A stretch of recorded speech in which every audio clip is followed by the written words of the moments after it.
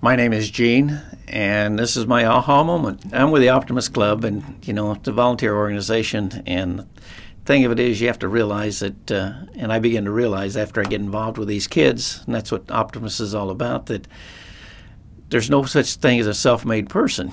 You know that somebody contributed to my life as I as I grew up and got older, and uh, so now I'm giving back to the kids and realizing how much value that's been in my life. Just the smiles and the happiness and being able to see these kids enjoy themselves and and uh, participate in things, and hopefully I've made a contribution to their life and the moral values and what they've done. You've got to contribute to other people and other things, and and teach, especially the youth, teach them today so that they will be good citizens tomorrow. My thing is that uh, I'd like to leave with the kids is okay, look up to your elders, respect them, and don't be afraid to work for what you want, and just enjoy life as you go through it, and and look at the good side of things.